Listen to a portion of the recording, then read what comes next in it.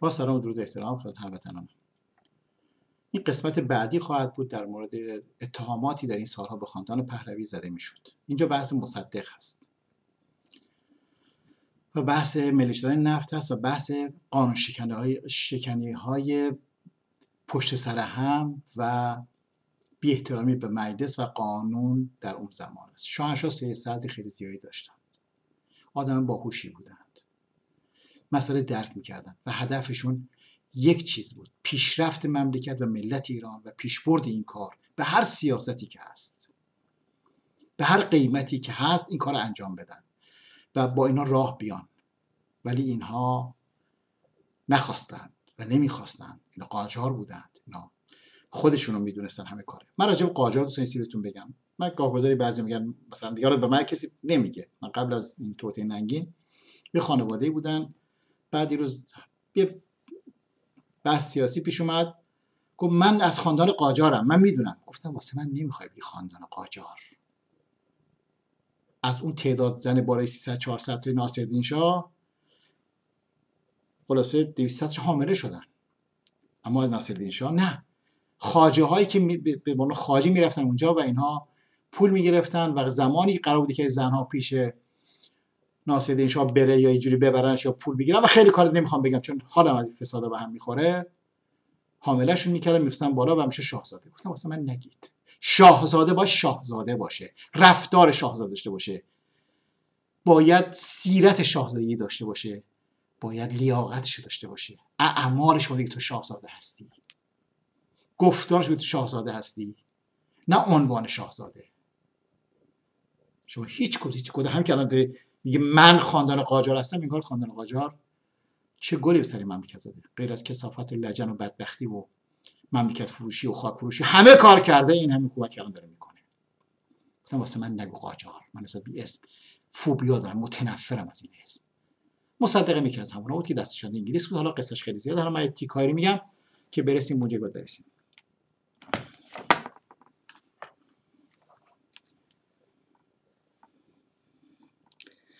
من راجع نفت بعدا صحبت خواهم کرد که وقتی که صنعت مثلا نفت ملی شد چه ضررهایی به ایران خورد که اینجا همیشه ساکتن مردم. چون اکثر این کسایی که از مصدق و مصدقی ها دفاع می‌کنن دار دسته مستقیم انگلیس و دموکراتی آمریکا هستن. البته آمریکای پشت همه یک پوخ هستن یکی هستن. اما به خاطری که بیان به قول یکی از این آقایان قورباغه رنگ جای فولکس واگن بفروشن یا قورباغه رنگ جای قناری بفروشن چون مصدق مشخص بود محرز بود. شاهنشاه می‌دونست.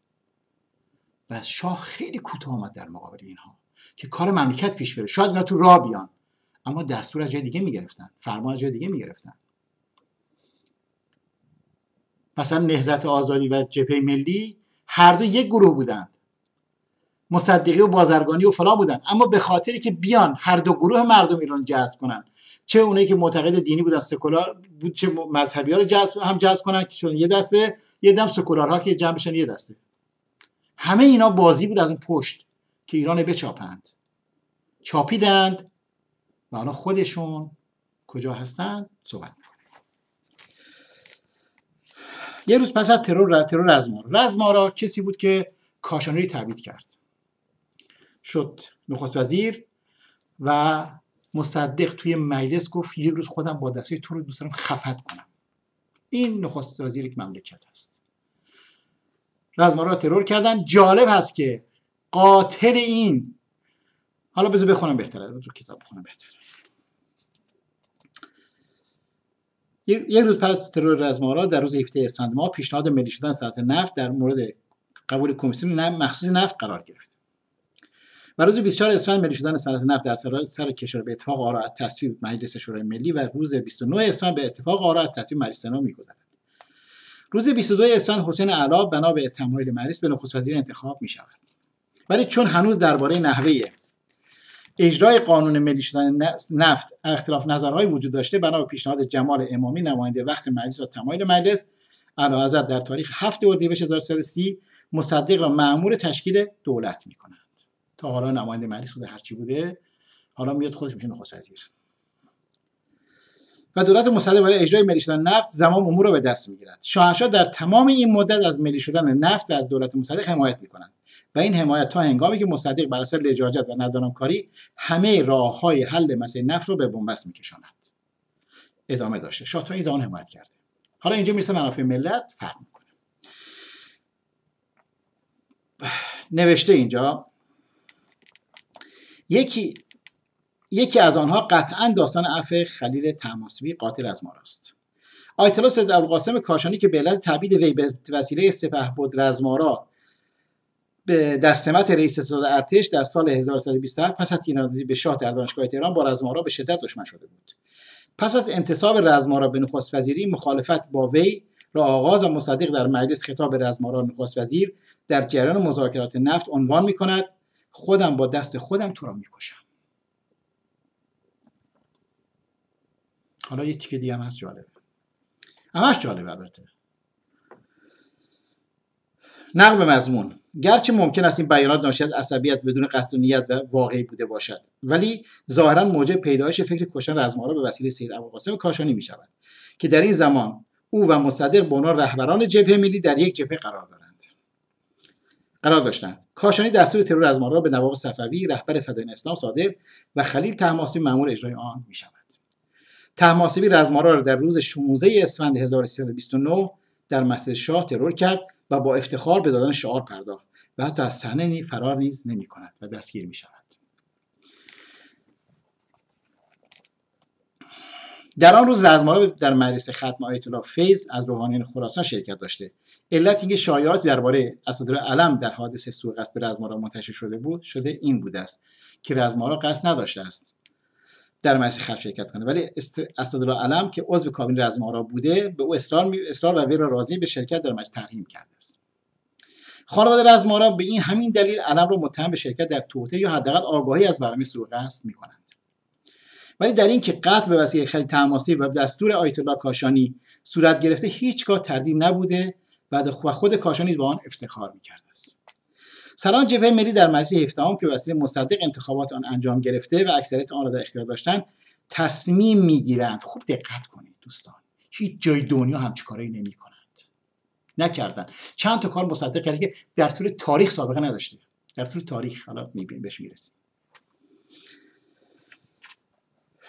که به وسیله مصدق انجام گرفته اکثریت آن اختیار داشت. تصمیم به پاس خدمات خلیل تماسبی که مسیر تاریخی را عوض کرده و آنها را به قدرت رسانده است موجبات آزادی او را از محاکمه و تعقیب فراهم کنند.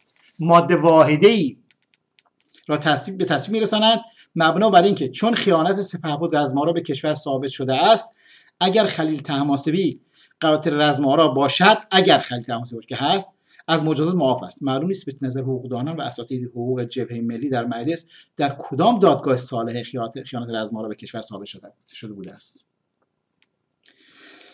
افضل کلمه اگر به ماده واحده در حالی که خیلی تماسی در تمام مراحل بازی به قتل رزمارا اعتراف و با افتخار نموده در صحنه قتل در حین ارتکاب جرم دستگیر شده یکی دیگر نشانه های بارز عدم صداقت مصدق و حقوقداران دیگر دولت در اجرای عدالت قانون است.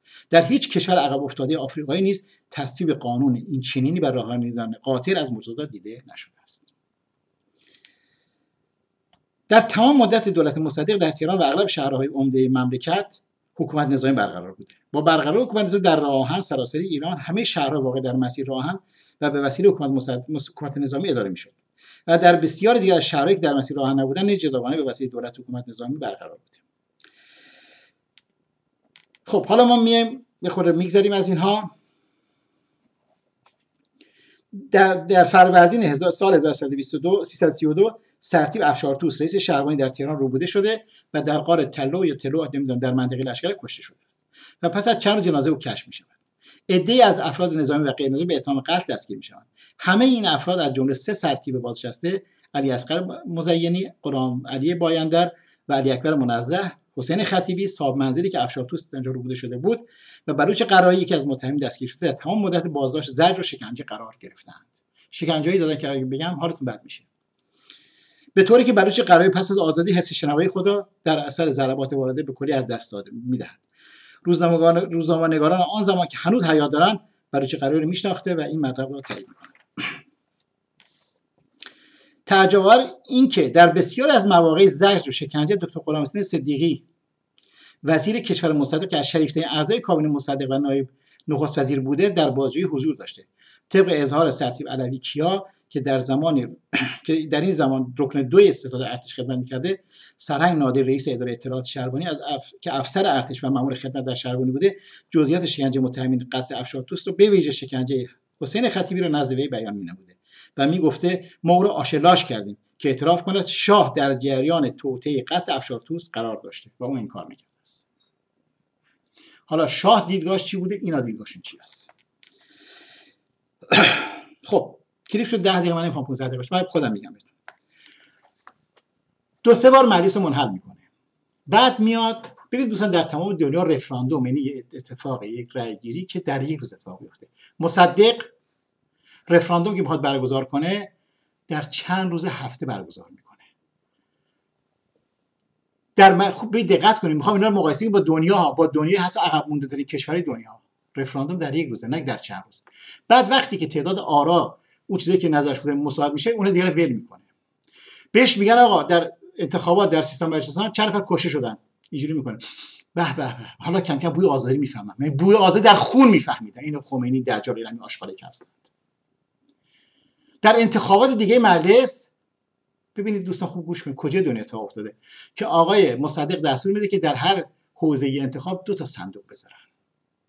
یک صندوق آره صندوق نه.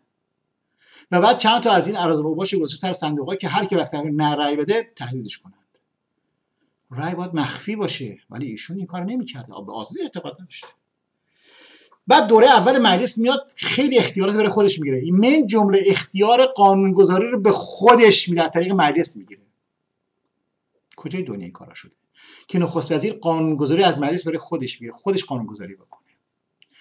رفقای خودش رو بررسی بدن دیگه. دور دوم که اختیارات بگیره بهش نمیدن. رفقای خودش میگه برو پی کار آبرو ما تو دنیا بردی تو. بعد چی کار می‌کنه؟ میاد شالاتان بازی و کوری بازی میاد تو مردم جلو مجلس سرستا می‌کنه. هر جا که مردم هستن مجلس همونجاست. همچه آدم شالاتان و شانتاژ بازی بوده.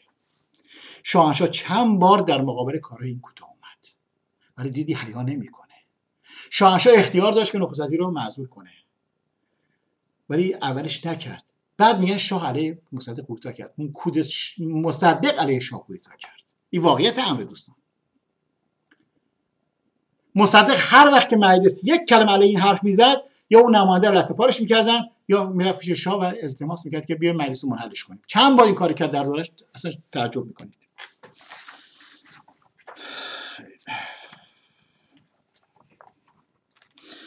من این تیکه رو می‌خونم چند دقیقه بعد دیگه کلیپ بعدی. مصدق کوتاه کرد نشا مصدق یک عوام فریب بود پیروز مجتهد زاده یادداشته خبر آنلاین در کجا و کجا این حرفا زده؟ تهیه شده است. با استفاده به استدلال استدلال ها و استناداتی نو بر آنچه در مرداد 32 گذشت و سبب وارون نوشتن بخشهایی از تاریخ سیاسی اخیر ایران شده. وارون نوشتن نوشتنی که عصبیت و عصبانیت و انتقامجویی را به جای بیطرفی علمی در نگاه به مسائل به فضای فرهنگ سیاسی ایران تزریق کرد. و سبب این همه نگونبختی در جامعه ما شد. این نوشته ها حاصل بیش از چهل سال پرسجو و شفاهی و کتبی بیش از 20 سال پژوهش نویسنده است. در اسناد دولتی داخلی و خارجی اسناد طبقه بندی شده دولتی دولتی نه کتاب ها و نوشته های این و آن. به عنوان استاد تاریخ به خورد مردم داده می شود در همان رابطه شایان توجه است که درباره همه بازیگران سیاسی فراوان نوشته شده و ولی درباره بازیگر اصلی یعنی شادوان دکتر مصدق نوشته ها اگر کم نباشد نوشته تحقیقی و تاریخی فوق العاده اندک است. و همین موضوع علت سر... اصلی سردرگم شده سردرگم شده داستان ماجراها در مرداد 32 شمرده می شود آنچه در نگاه به تاریخ آن دوران و نقش مصدق بیش از همه جلب توجه می کند در حقیقت طرح گسترده ایده های میهم دوستی دموکراسی خواهی که اگر چه یک سره عروس صداقت بود ولی همیشه با عملی با عمل هماهنگ نداشت. شعار بود اما عمل نبود. پنهانکاری او برای مثال پنهان کردن حکم عزل خود حتی از سه چهار وزیری که تا آخرین لحظه به او وفادار بودند. فقط می توانست ناشی از عدم صداقت باشد. نداشتن اعتماد دوستان وفادار. شعار پردازی های گسترده. در لزوم و در لزوم دموکراتیک بودن مقام سلطنت. در عمل به صورت سرپوشی درآمد برای دیکتاتوری های حیرت انگیزی که خودش اعمال کرد.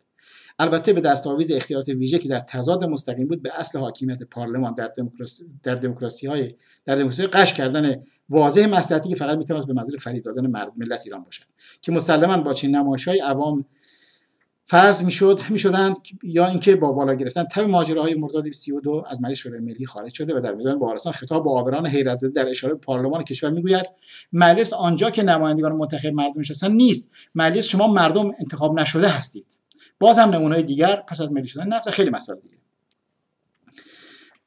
بعد میگه رزمارا میگه من از مصدق تعجب می‌کنم. مدرس جای استدلال بحث نه جای منازعه و مشاجره و فوش و اگر جای فوش بود چند نفر چاله میدانی می آمدن اینجا. مذاکرات مجلس شورای ملی جلسه فلان.